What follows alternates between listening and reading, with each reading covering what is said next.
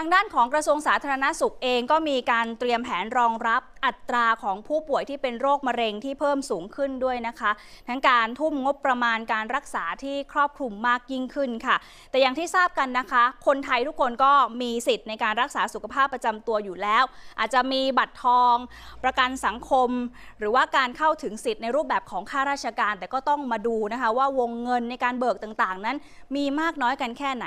แน่นอนค่ะคุณผู้ชม ถ้าเป็นสิทธิ์ของข้าราชการก็อาจจะเบิกค่ารักษากันได้ถึงร้อยเปอร์เซ็นต์ในขณะที่สิทธิ์ของประกันสังคม ผู้ป่วยก็ไม่ต้องเสียค่ารักษา แต่อาจจะมีการจ่ายเพิ่มในส่วนของห้องพัก มีใครมีประสบการณ์นะคะเกี่ยวกับการใช้บัตรทอง บัตรข้าราชการหรือประกันสังคมลองแลกเปลี่ยนพูดคุยกันเข้ามาหน่อยค่ะ ว่าเคยมีการรับการรักษาแบบนี้บ้างไหม และแบบไหนที่ติดขัดมีปัญหากันบ้างนะคะ อย่างคุณนุชจรินเฉลิมบุญคนนี้เป็นพนักงานบริษัทนะคะ ปัจจุบันเนี่ยเธอมีอายุ 50 ปี เธอใช้สิทธิสุขภาพประกันสังคม ตรวจพบว่าเป็นมะเร็งรังไข่ ในปี 2564 ระยะที่ 2 ก็เข้าไปรับการรักษาด้วยการผ่าตัดให้คีโม เพราะดีนะคะที่เซลล์มะเร็งยังไม่ลุกลามไปส่วนอื่น ๆ แพทย์ก็ยังคงติดตามผลการตรวจทุกๆ 3 ถึง 6 เดือนค่ะ คุณนุจรินก็มองว่ายิ่งตรวจพบก้อนเนื้อเร็ว มันก็จะมีโอกาสรักษาหายได้เร็วมากขึ้น เธอก็เป็นคนหนึ่งนะคะที่ชอบสังเกตอาการความผิดปกติในร่างกายของตัวเอง ถ้าพบความผิดปกติก็จะไปพบแพทย์ทันที โดยไปพบแพทย์ที่โรงพยาบาลเอกชนตามสิทธิประกันสังคมของตัวเอง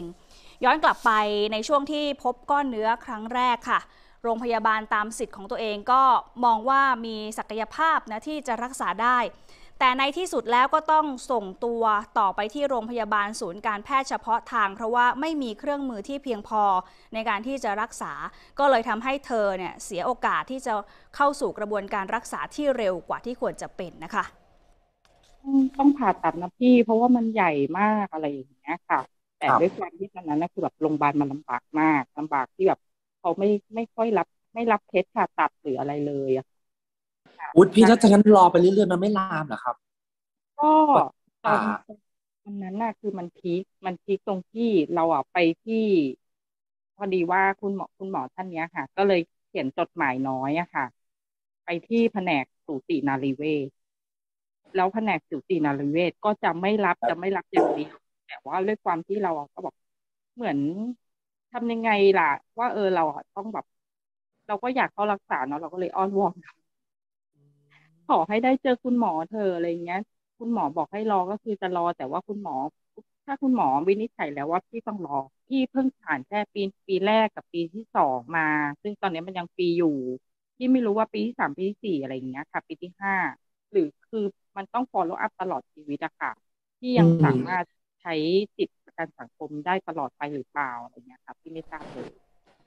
แม้การใช้สิทธิประกันสังคมในการรักษาโรคมะเร็งจะทำให้เวลานี้เธอไม่ได้เสียค่าใช้จ่ายนะคะ แต่คุณนุจรินเนี่ยก็อยากจะให้มีการประชาสัมพันธ์ให้ความรู้กับผู้ประกันตนไปเลยว่าสามารถใช้สิทธิ์อะไรได้บ้าง รักษาได้ในระยะเวลากี่ปี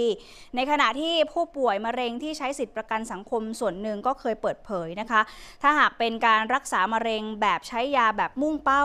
ก็จะต้องเป็นผู้ป่วยในระยะ 3 เท่านั้นนะถึงจะมีสิทธิ์ในการรักษาในในการการใช้ประกันสังคมนั่นเองค่ะ